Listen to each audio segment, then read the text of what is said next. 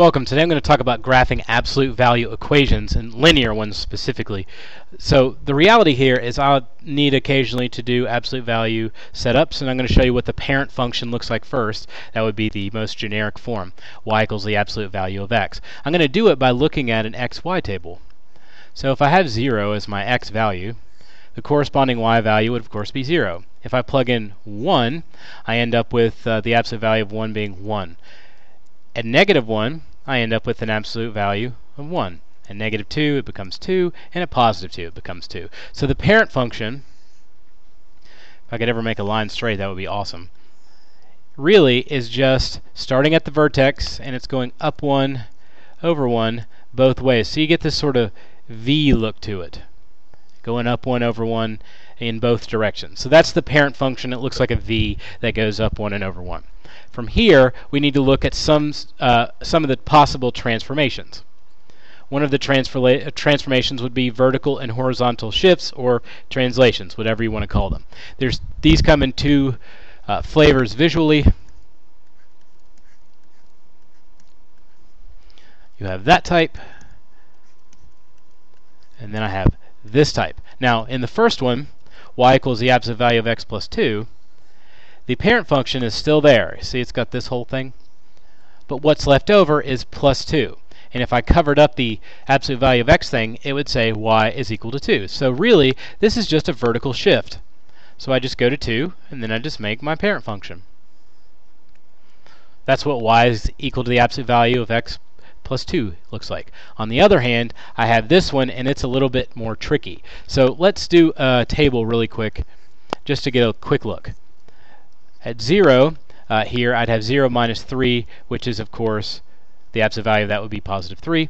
As I go up, positive 1 gives me 1 minus 3, which is negative 2, so I go into 2. If I go to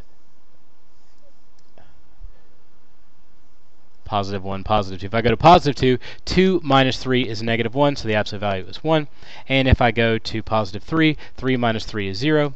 If I go over it to 4, 4 is equal to an absolute value of 1. So that's where it starts to go back up and down. If I went down to negative 1, it would actually take me to 4. So the shift looks like this. Uh, at 0, on the y-axis, I'm actually up at 3 on the y. At uh, 1, I'm at 2, down, and down. So this should be like right at 3. And then I'm starting to go back up again. So I have that same v that I had before. It's the parent function. It doesn't look exactly like the other one because I made my uh, scale too small on the other one. But anyway, it looks exactly the same thing. The only difference is it's shifted horizontally. The thing that's weird is that it actually shifts in the opposite direction to what you would think. You see x minus 3 and you think, oh, it's going to go to the left. But it doesn't. It actually shifts to the other side, and that's why I wanted to draw this one out as opposed to just telling you. That's why it works that way, because if when you the absolute value is considered in, it actually shifts it the other direction. So if I had y is equal to the absolute value of x plus 1, I would actually go on uh, the x x-axis to the left and then make the parent function. So if it's inside, shift it opposite. If it's outside, shift it as you would normally. For the next one, stretching and compression. Now, when I have the compression versus stretching, it speaks to uh, whatever the coefficient is in front of the absolute value. So I'm trying to find a half decent color to do this in, and I'm not going to find one, so I'm going to use gray. This is what I'm talking about.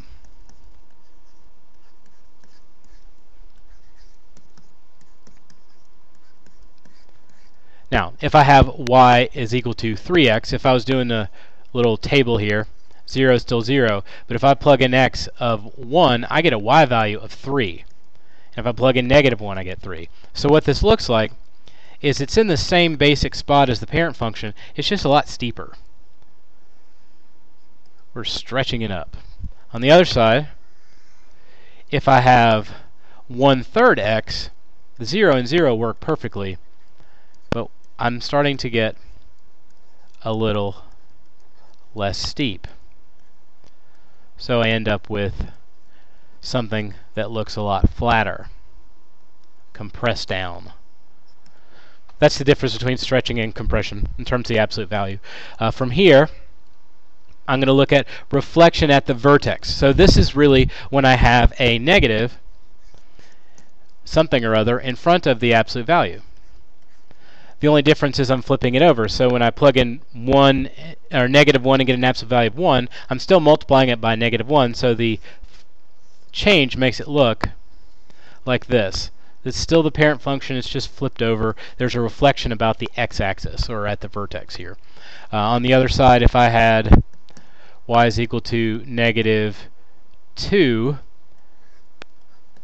this is where I'm starting to mix them a little bit. It will be a little bit um, more, it would be much steeper here, not much steeper, but some steeper, and it's actually going the opposite direction. So the parent function is not quite as wide, and it's also uh, going in the opposite direction.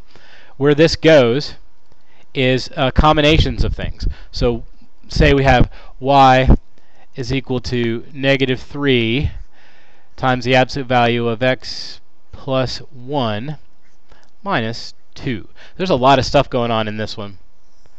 The first thing I need to do is figure out where the vertex is going to be. I'm going to use the cover up of all this to end up with this minus 2 here. So I know I'm going to go down 2 to start on that line to find my vertex. And the plus 1 tells me I need to go to the left, remember, because it's opposite. So here's where my vertex is. I also know that because it's times 3, I'm uh, stretching it out, so it's going to be a lot steeper.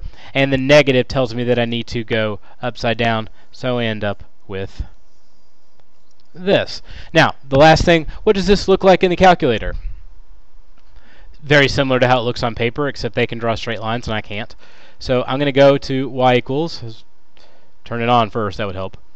And then I'm going to type in negative 3, and for the absolute value, I'm actually going to go to the catalog. So hit second catalog, and the one that says ABS means absolute value.